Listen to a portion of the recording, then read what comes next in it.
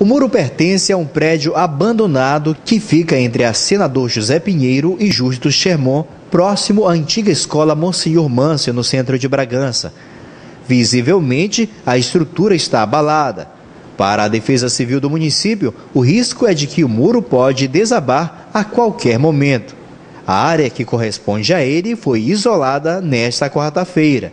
Sim, nós verificamos, o muro ele traz uns sérios riscos aos transeuntes e nós resolvemos fazer a interdição do local, Inclusive, colocamos as placas de notificação da Defesa Civil, informando que foi a Defesa Civil do município de Bragança que fez aquela interdição e comunicamos ao proprietário do terreno que tome as providências necessárias. O proprietário que foi notificado tem 30 dias para a remoção do muro. A gente tem um prazo que, por lei, é de 30 dias.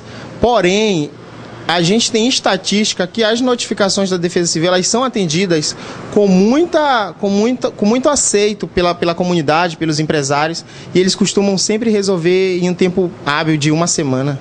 Outros prédios em risco de desabamento estão na mira da Defesa Civil e poderão sofrer interdições nos próximos dias.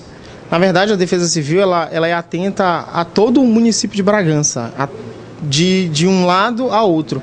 Dentro do município espe especificamente, a gente tem um trabalho de levantamento de prédios públicos. A gente já fez o levantamento de algumas situações, mas a gente tem todo um cuidado especial para tudo que oferece risco para a população de Bragança.